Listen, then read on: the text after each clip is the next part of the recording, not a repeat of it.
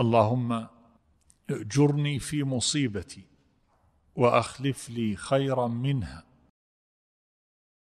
اللهم اجرني في مصيبتي وأخلف لي خيرا منها.